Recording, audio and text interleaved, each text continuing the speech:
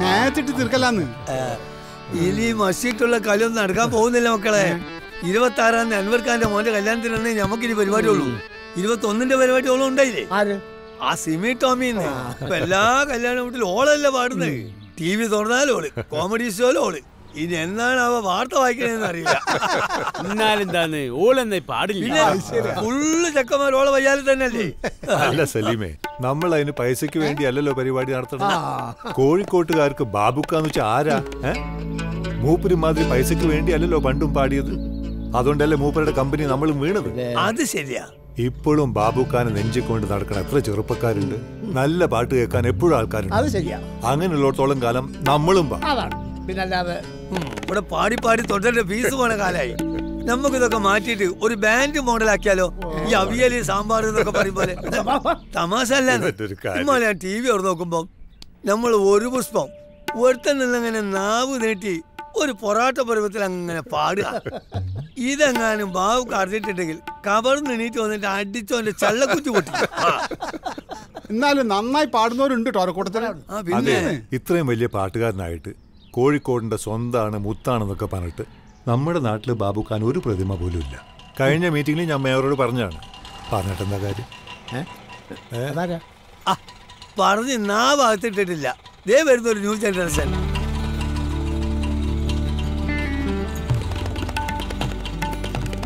എന്താണ് എന്റെ വിവരമൊന്നുമില്ലല്ലോ? വിവരമില്ലായിട്ടാണ് ഇവിടെ വരെ എത്തിയത് കേട്ടാത്തൊന്നും മൂപ്പർ അയ്യായിരം കഴിഞ്ഞ് വരികയാണ് അല്ല ഇപ്രാവശ്യം രക്ഷപ്പെടുവോ? ഓ തുടങ്ങിയോ എല്ലാരുടെ?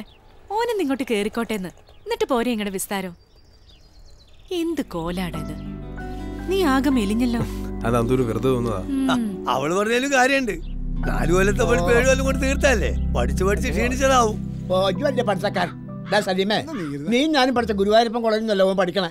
ആയിരക്കണക്കിന് ഏക്കറാ അവന്റെ കോളേജിൽ ഒന്നും വരെ നടന്നിട്ടാലും ക്ഷീണിക്കൂലേ? അത് ശരിയാ. പറമ്പുണ്ടെങ്കിൽ പിന്നെ ആരും ക്ലാസ് കയറും വാടാ. ആ. നീ അവൻ എന്തെങ്കിലും കഴിക്കാൻ കൊടുക്ക്.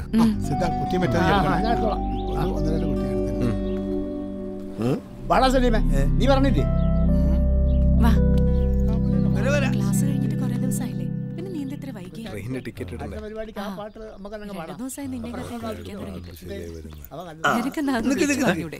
ഇപ്രാവശ്യം നീ ഇതെനിക്കൊന്ന് പഠിപ്പിച്ചു തരണം പിന്നെ പഠിപ്പിക്കാം. അത് നിങ്ങളെ. പണ്ട് ഗുരുവായൂരപ്പൻ കോളേജിന്റെ പറമ്പ് കൂടെ ആവിട്ടടക്കം പഠിച്ചൂടായിരുന്നോ? പഠിക്കാൻ പറ്റിയൊരു. അതെ. കാണാൻ ആസവലിന്റെ മാതിരി ഉണ്ടായിട്ടൊന്നും കാര്യമല്ല ഉള്ളു നന്നാവണം. മറ്റുള്ളവർ കൂടി രക്ഷപ്പെട്ടോട്ടോ എന്നുള്ള ബോധം വേണം. ഓ ഇതാ വരണേ.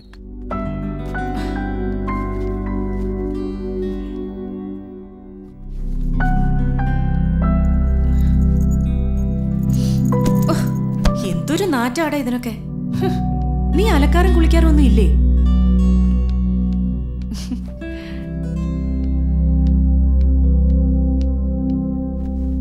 ബാലു ബാലു. നീ ഇതിലൊന്ന് സെലക്ട് ചെയ്തേ. എന്റെ വെഡിങ് കാർഡ്സാ നീ വന്നിട്ട് സെലക്ട് ചെയ്യാൻ വേണ്ടി മാറ്റി വെച്ചതാ. ഡാ പറയടാ. എന്താ? ഇതിലേതാ നിന്റെ ചോയ്സ്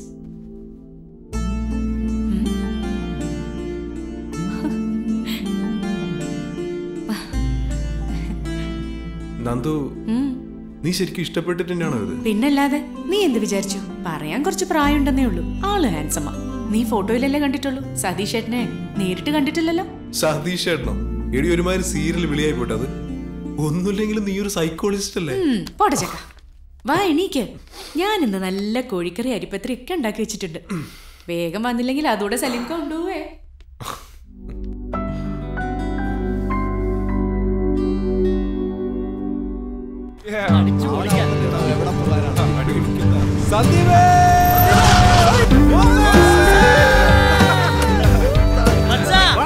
നമുക്ക്.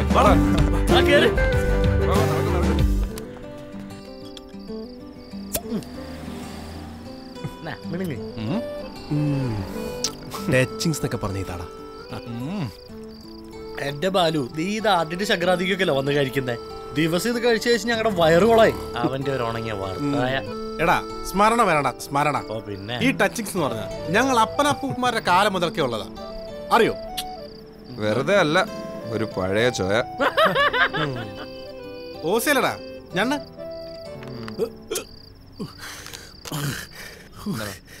ബാൻഡിന് ഇപ്പം പരിപാടി ഉണ്ടാവാറുണ്ടോ? എവിടെ? ഇവിടെ ഹരീഷ് ഏട്ടനുള്ളോണ്ട് കാര്യങ്ങളൊക്കെ. ആര് നമ്മുടെ സുരയുടെ ഏട്ടനാ മൂപ്പര് തന്നെ. മൂപ്പര് പോലും ചെയ്യുമാടോ? താജ് ഹോട്ടലിന്റെ ഓരുള്ളതുകൊണ്ട് ഒന്നോ രണ്ടോ പ്രോഗ്രാം കിട്ടും മാസം. സൂര്യന്റെ ഏട്ടനാന്നുള്ളട്ട് ഒരു കാര്യമില്ല. ഓം വലിയ കമ്മീഷന്റെ ആളല്ലേ? എനിക്കറിയില്ല ഇന്നാൾ നമ്മുടെ പരിപാടിക്ക്. എടാ അന്ന് കൊച്ചിന്ന് ടൂറിസ്റ്റുകാർ വന്നില്ലേ? ഉമ്മ കിട്ടിയേക്കാൾ കൂടുതൽ മൂപ്പര് കമ്മീഷൻ അടിച്ചില്ലേ? തെണ്ടി. ഓനൊരു ചാത്തനാടും? ഇനി എന്താടാ പ്രോഗ്രാം അടുത്ത ആഴ്ച തോന്നണത്? അല്ലടാ. തലേ ദിവസം വിളിച്ചു പറയാറ്. ചിലപ്പോ വിളിച്ച് പറയില്ല. അല്ല ഇപ്പൊ കറക്റ്റ് അറിയണമെങ്കിൽ പ്രിയനെ തന്നെ വിളിക്കണം. പ്രിയ? എന്റെ പഴയ പ്രിയനോടോ? അത് വിടളേ. എപ്പോഴാ നമുക്ക് പാർട്ടി? എന്ത് പാർട്ടി? നീ വന്നതിന്റെ പാർട്ടി? പിന്നെ ഇനി അങ്ങോട്ട് പോവാനില്ലാത്തോണ്ട് കോഷൻ ഡെപ്പോസിറ്റ് വാങ്ങി നാട് മൊത്തം കറങ്ങിയിട്ടാ ഞാനിങ്ങോട്ട് വന്നു കാശ് വല്ലതും വേണമെങ്കിൽ അച്ഛനോട് ചോദിക്കേണ്ടി വരും. ഓക്കെ അത് പോട്ടെ. അപ്പൊ ചേച്ചിയുടെ ബാച്ചിലർ പാർട്ടിയോ അതൊക്കെ നമുക്ക് ശരിയാക്കളിയാ നിന്റെ ബൈക്ക് കണ്ടിരിക്കുന്നുണ്ടേ നാളെ കാലത്ത് അളിയനൊന്ന് കാണാൻ പോണം. കത്തോടൊപ്പം എന്തായി? ഇന്നാ ഇപ്പൊ സെലക്ട് ചെയ്തത് ഒരാഴ്ചക്കുള്ളിൽ കിട്ടും. ഒന്ന് സഹായിക്കണടാ. അല്ല അപ്പൊ നീ നാളെ ക്ലബിലേക്ക് വരില്ലേ? പ്രാക്ടീസ് ഉണ്ട്. ഞങ്ങളൊക്കെ അവിടെ ഉണ്ടാവും. നോക്കടാ. അളിയനെ കണ്ടിട്ട് അതുവഴി വാ. വരില്ലേ? വന്നാ എനക്ക് എന്റെ പെണ്ണിനെ കാണാം. അപ്പൊ ശരിടാ. ശരി. തുടങ്ങാം. നമുക്കൊക്കെ ഫിറ്റ് ആണെങ്കിൽ മുന്നൂറ് രൂപ മദ്യം വേണം. ഇവന് വെറും എൺപത് രൂപയുടെ ബീർ മതി. കിടക്കട കണ്ട ഉണങ്ങി അലുവാരി. നീ പാട്.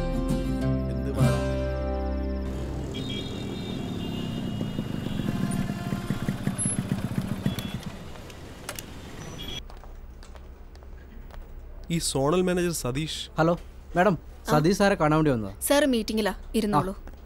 ഇരിക്കേ.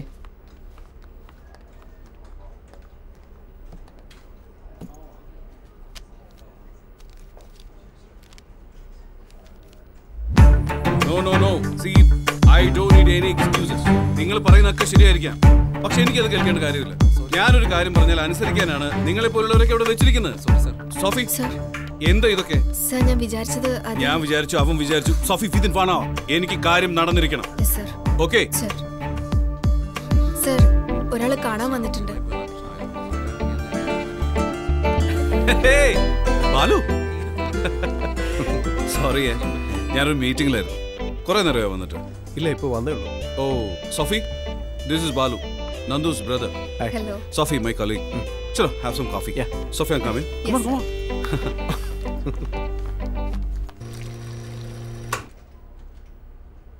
എന്താ തന്റെ ഫ്യൂച്ചർ പ്ലാൻസ് നന്ദു പറഞ്ഞു താൻ പോകുന്നില്ല ഇല്ല നാട്ടിൽ തന്നെ എന്തേലും നന്നായി.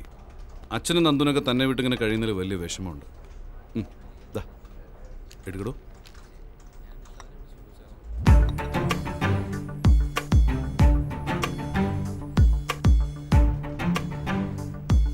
എന്തുപറ്റി? ഏയ് ഒന്നുമില്ല. മനസ്സിലായി. എനിക്ക് കുറച്ച് ഏജ് കൂടുതലാന്നുള്ളൊരു പരിഭവം തനിക്കുണ്ടെന്ന് നന്ദു എന്നോട് പറഞ്ഞിരുന്നു. ഏ അത് നന്ദു ചുമ്മാ. പക്ഷെ ഞാൻ വിചാരിച്ച പോലെ അല്ലട്ടോ എന്തേ? അത്രയ്ക്ക് മോശമാണോ? അല്ല പെണ്ണ് കാണാൻ വന്ന് ബാബുക്കയുടെ പാട്ടൊക്കെ പാടി അച്ഛനെ കയ്യിലെടുത്ത് കേട്ടപ്പോ ഞാൻ കരുതിയ ആളൊരു പഴഞ്ഞിരായിരിക്കുന്നത് പഴമയ്ക്ക് എന്താടോ കുഴപ്പം? പഴമയുടെ കൂട്ടത്തിൽ പുതുമയും വേണമെന്ന് മാത്രം. ബോബ് മാർലിയുടെ സംഗീതം മാത്രമേ ഉള്ളൂ അതോ സ്റ്റഫും ഉണ്ടോ? ഏയ് അങ്ങനെയൊന്നുമില്ല നമ്മുടെ നാട്ടിലിപ്പോൾ ബോബ് മാർലിയുടെ ടീഷർട്ട് പോലും ഇട്ട് നടക്കാൻ പറ്റാത്ത അവസ്ഥയാണ് അതുകൊണ്ടെന്ന് പറഞ്ഞ് പോലീസുകാർ പൊക്കും. മൂപ്പര് മരിച്ച് അടക്കം ചെയ്യുമ്പോൾ അന്ന് ആ ശവക്കല്ലറയ്ക്കുള്ളിൽ പുള്ളിയുടെ ഗിറ്റാറും ഒരു ഫുട്ബോളും പിന്നെ ഒരു കെട്ട് കപ്പും വെച്ചെന്ന കേട്ടത്. ഒരു ജനറേഷന് മ്യൂസിക്കും വിപ്ലവും ഇഞ്ചക്ട് ചെയ്ത കലാകാരൻ. നമ്മുടെ പോലീസിനോട് ഇതൊക്കെ പറഞ്ഞിട്ട് വല്ല കാര്യമുണ്ടോ? അവർക്ക് എന്ത് ബോബ് മാർലി ബാലു.